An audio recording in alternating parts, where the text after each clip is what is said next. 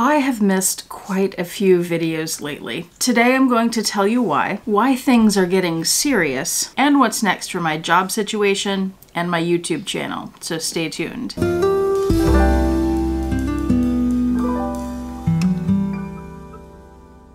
Hi YouTube, Autumn Beckman here. Welcome to my channel or welcome back to my channel. My channel is all about luxury living on a budget from high-end luxury handbags and small goods to the everyday luxuries of life.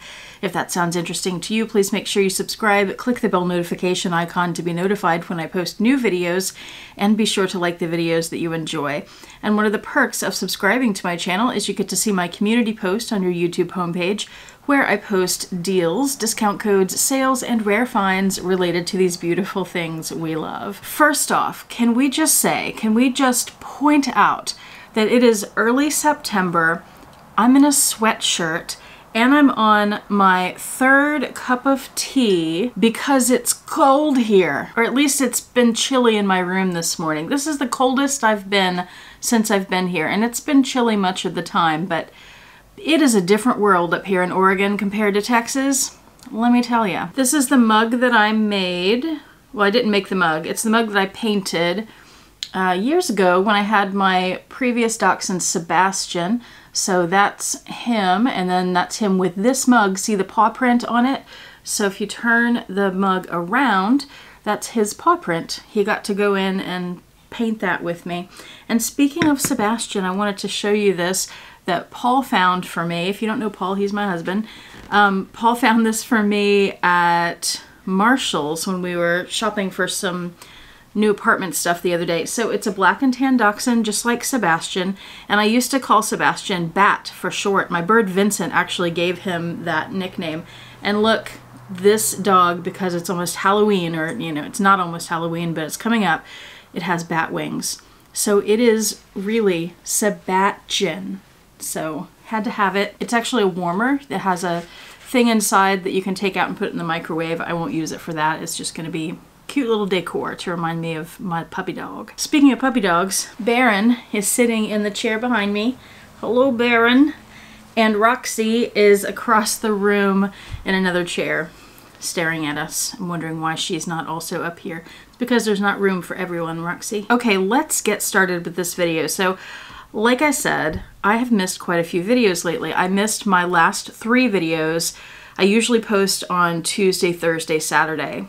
Missed all those. And I've also missed several here and there over the past few months. Now, a lot of you who watch my channel regularly you know that we just moved from Texas to Oregon, and a lot of you probably already know that I've been missing videos because of that, because we've been very busy with that. Now, before we left, when we were still in Houston, I pre-filmed a bunch of stuff, I edited a bunch of stuff, so while we were moving, I had content that I was able to get up but the move has taken a lot longer, required a lot more effort and time than I had anticipated, and I have chosen mostly to focus on that instead of YouTube, so that is why I've missed some videos here and there. The reason I missed the last three, though, was not because of that. It was my mother's fault. She just visited us for a week for the first time. We took her all over the place, and of course I prioritized her visit over getting videos out. So that's why you haven't seen anything from me in about a week. But things are getting serious now because we have the apartment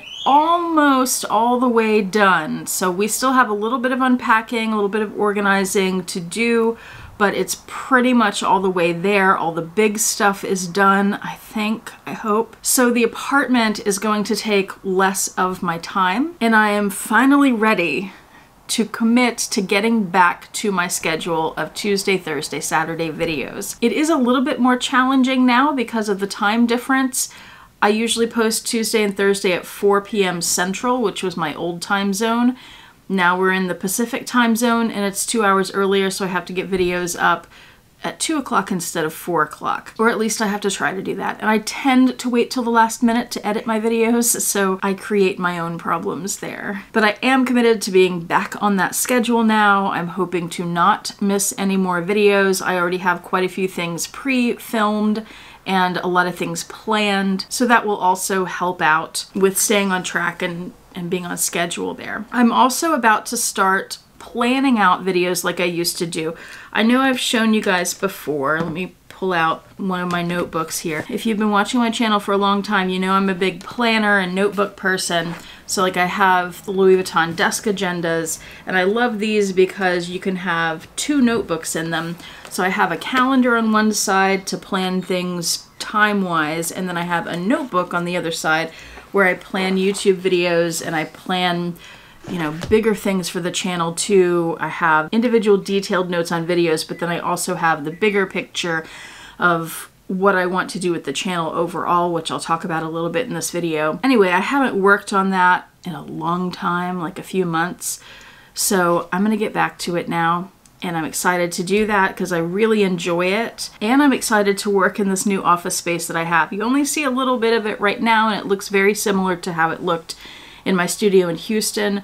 But when you see the whole room, it looks really different and I'm really enjoying it. And I'm going to be sharing that with you at some point soon too, hopefully soon. And many of you know, corresponding with the move, I quit my job as a teacher and I'm not going back into teaching. I have a whole video about that if you'd like to see it. I'll link it below. So I'm also switching careers along with switching states that we live in. And a few of you have asked, how's the job search going? Here's the answer. It's not. Paul and I have talked at length before we moved, during the move, since the move, and we have decided for a variety of reasons that I am not going to look for a job until sometime next year. I won't go into all of those reasons, but the gist of it is that I have a lot of things to do before I want to start a job and be working full time 40 hours a week again. And not only do I have things I want to do, but we have things we want to do. We want to do some exploring in this new place we live in.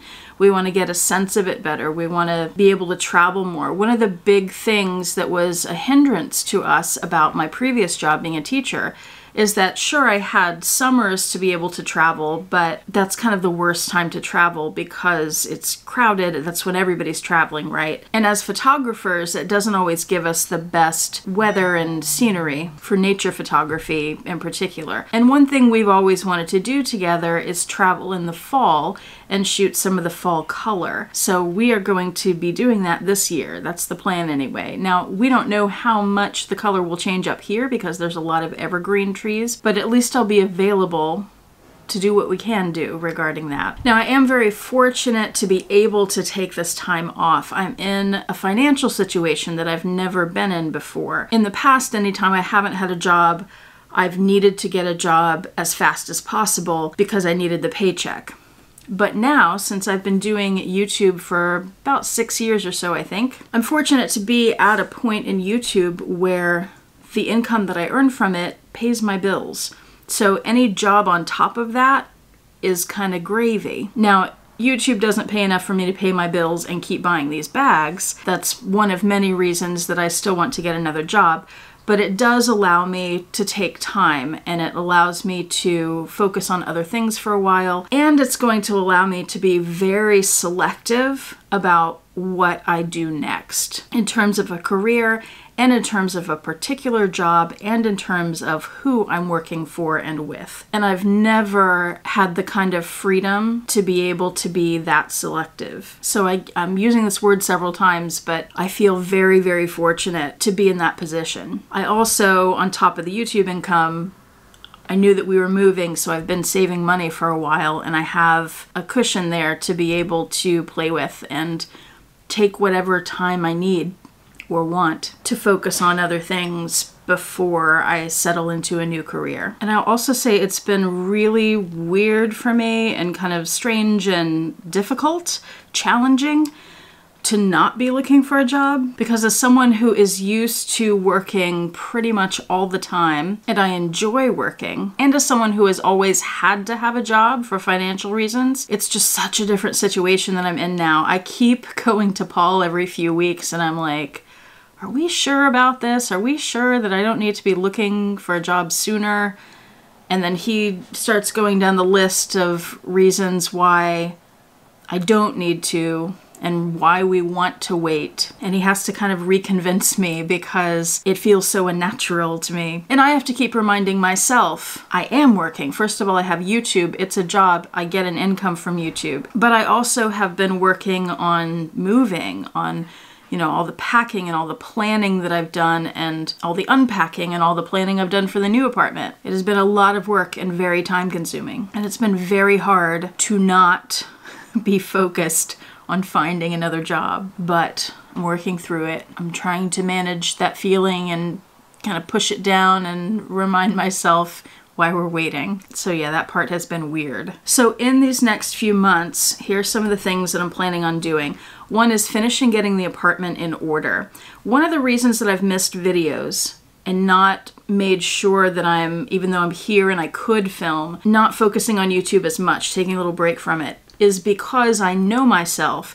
I know that if I start focusing on YouTube full time, I'm gonna let the rest of the things that need to be done in the apartment slip, or at least some of them. I'm somebody who is so used to working, working, working, working all the time.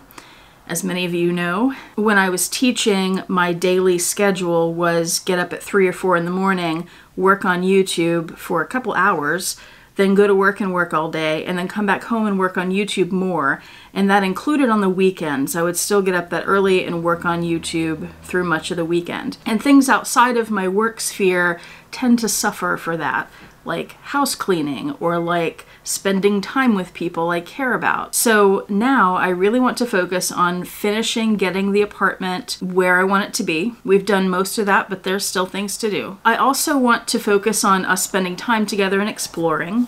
I want to focus on taking some online classes. I've been doing that for the last year or two for different things, but it was really hard to keep up with that when I was doing teaching and YouTube full time. Now I should have more time to focus on that. And things like project management classes, becoming certified in that. I've done plenty of project management work in my career as a teacher. Teachers do like everything. We're qualified for everything. I'm just going to say that. And so many teachers don't realize that because we're so used to doing so much. We don't realize that those skills are transferable to other kinds of jobs, especially when the language is so different in education versus corporate jobs. It's the same kind of work, but it's called different things. And that's one of the things I've been working on is learning, like reflecting on teaching and learning what I can pull from that and can be called something else because it's the same thing, it's just different words. And then taking classes to get certified in some of that because not everybody in corporate realizes what teachers do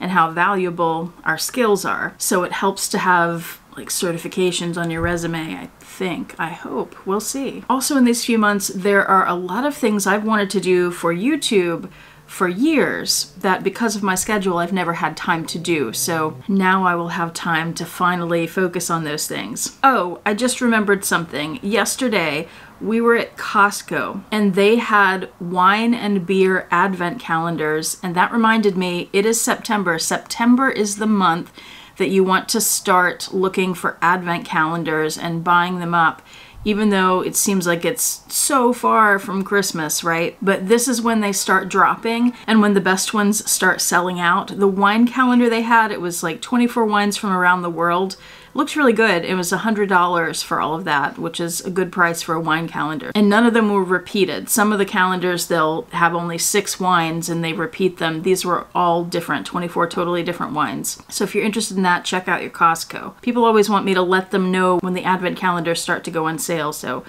there's your warning. Okay, let's talk about some of the things I have planned for my YouTube channel. One, I've already talked to you previously in a recent video about my Thursday videos being vlogs in Oregon. So that's still the plan. The biggest one that I wish I had been able to get out by now for chronological reasons, if nothing else, is our epic road trip from Texas to Oregon. It was 11 days long. I vlogged every day. I have not started editing any of it. I haven't had time to do that, but now I should start hopefully having time. It's gonna take days to edit that video. And I have some ideas for it that are a little different that I wanna put in and that's gonna take extra time. It was such an epic trip. I really wanna do it justice. So bear with me on however long that takes. I hope I can get it out next Thursday, but I don't know. I'm not sure what this week has in store for me yet. Things still keep coming up that we need to do, but that is upcoming. It will come at some point. Also, my mom just visited, like I said, she was here for about a week, and I vlogged, I think, four days of her trip. So we went to the coast one day, we went up the Columbia River and to some orchards up there. That was really fun. And then we had a winery day. And we actually joined our first wine club in Oregon. If anybody's interested, it is called White Rose Estates. They were amazing and their wine club is a really good deal. So I highly recommend them. And my mother, this was her idea, not mine. She wanted to go to Portland Leather Goods. So we went to the outlet I didn't vlog that because I vlogged at the outlet before. I'll link that video below in case you're interested. But she, but she bought three bags, so I'll have a video showing you her three bags too. And I've also been, I'm in Oregon groups and local area groups for different cities around here on Facebook. So when people post events, I write those down, I put them in my calendar as opportunities to vlog and to explore and learn more about Oregon. So you'll see some things like that. One of those, there have been, I've seen a bunch of Oktoberfests, but it's really weird because all but one of them are in September. What's that about? Somebody clue me in. Is it just, is the weather too bad here in October? We haven't been through a winter here yet, so I don't know what to expect. I do also still have some videos that I pre-filmed when I was back in my Houston studio. They're mostly going to be Portland Leather Goods unboxings. I'm going to be spreading those out so you're not just seeing them back to back. Also, I don't believe I've told you guys this, but a few months ago my father died. Some of you know the story with him. We've been estranged for a long time. And when that happened, I had to get involved in it. It's a whole thing, but I made a video about it, about my experience going through that. And I have I didn't I didn't want to post it right away because it was too fresh. I wanted to wait until we got up here. So I think I'll post it at some point, but I still am going back and forth about it a little. I need to watch it and edit it and see how it comes out before I really make a decision on where when to post it or if I post it. I feel like on one hand it's really personal, but on the other hand I feel like there's information about that experience that could help other people potentially who are in similar situations. So that's really why I would like to post it. I also have videos related to our move, so not only the road trip vlog, but a video about how I transported my nicest bags, my fanciest, most delicate, most expensive bags in the car for 11 days. Also how I transformed this empty room into the new studio that I have and probably a separate video doing an office tour so I can show you details of some of the things in here and tell you some of the stories behind them. I do still have bags left over from my last vlog sale that got brought up here with me, so I'll probably have another vlog sale at some point. I've had a few people contact me interested in a couple bags, and I've had to tell them I can't sell to you yet. I'm just not ready to do a vlog sale. It's so time consuming, and I don't know even where I'm shipping from yet and how much shipping is going to cost here because I tried sending a, the small thing to somebody recently from UPS and in Houston that would have cost maybe $8 to ship it ground and up here they wanted $30 like what? So I need to check out the shipping prices and figure out who I need to be shipping with because that that was a ridiculous price for what I was shipping the size and the weight of it I do also have I think it's on third, let me check my calendar here. Yeah, Thursday, September 28th. I have a collaboration video coming up with Ed Braun, Winnie Bee LV, and David's Closet. I'll link all their channels below. We are thrifting a handbag and then rehabilitating the handbag, and then having you guys watch all four videos and vote on who got the best deal or did the best job or whatever. I'm not sure what we're doing quite yet, but that's fun. I've purchased the bag, but I don't have it yet. And I purchased one that I think will be a bit challenging, but also a really nice looking bag. So looking forward to that. Other things I want to focus on, a new intro instead of rambling on for like 15 minutes like my intro is now shortening that. I've talked to you guys about that before, but I haven't had time to sit down and work on it yet. I'm also thinking I would like to do some kind of animated intro, like there's the speaking intro and then there's the visual intro, and I want to do a different visual one. I've wanted to do that for years and I've never had time to sit down and figure out how to do it myself. I could hire someone else, but I would rather learn a new skill and be able to do more things with that.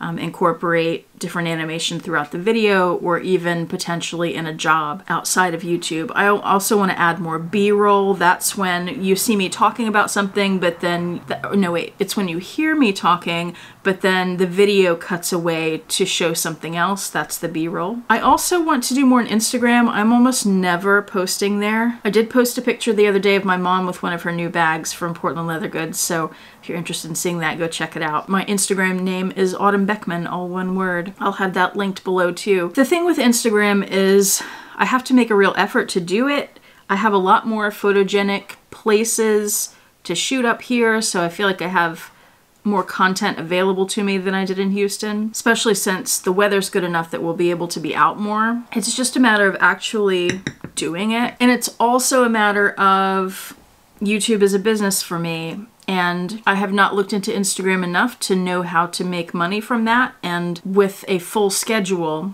especially when I'm back working like a corporate job, I don't have time to do things that aren't earning money for me. So we'll see how that one goes. And then I also would like to expand the content some, still keeping in the luxury realm, but not just focused on handbags, focused on some other things like some of the home decor and like one of my videos on my studio here will be how I redecorated the entire room and bought all new furniture and did all this for under I haven't counted it all yet, but I think under two or three thousand dollars. And I think it looks great. And my closets too. I'll have a video on how I did my closet design and organization. And that whole thing people spend thousands on closets and I spent like $300. So all that to say, I'm back baby and I'm serious about getting videos out on a regular schedule again so you'll start seeing my videos. Please make sure if you want to see them that you have the little bell notification and that you're subscribed and all that. Yeah, that's what's going on. That's the plan. We'll see how it works out. I'm usually pretty good at sticking to my plans and doing what I say I'm going to do. But you let me know in the comment section if there's anything you'd like to see that I haven't mentioned or if there's anything in particular that you're looking forward to. Thank you so much for watching. I do appreciate it. Hope to see you back here next time and I hope you have a fantastic day. Bye.